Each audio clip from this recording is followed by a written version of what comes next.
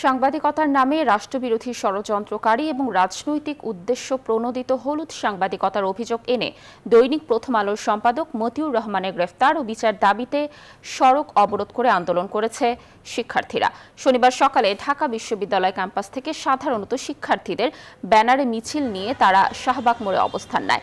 এ সময় যান চলাচল বন্ধ থাকে শিক্ষার্থীরা।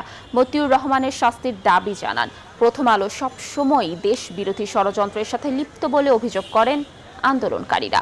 প্রায় এক ঘণ্টা সড়ক অবরোধ করে বিক্ষোভ করে তারা। এ সময় মতিউর রহমানের কুশপুত্তলিকা দাহ করে।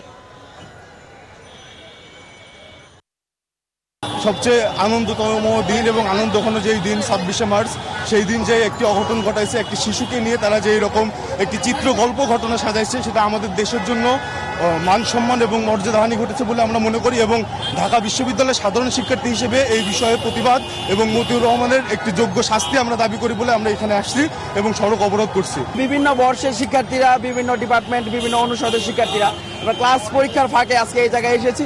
কারণ আমরা জানি আজ আমাদের একটা জাতীয় সম্প্রীতি দরকার। এই যে তথ্য সন্ত্রাসের মতো জাতীয় দুর্যোগ আমরা মোকাবেলা করছি, সেই জাতীয় দুর্যোগ মোকাবেলা করতে আমাদের যে ঐক্যবদ্ধ জাতীয় শিক্ষার্থী সম্প্রীতি দরকার, সেটার জন্য আমরা আজকে এই জায়গায় এসেছি।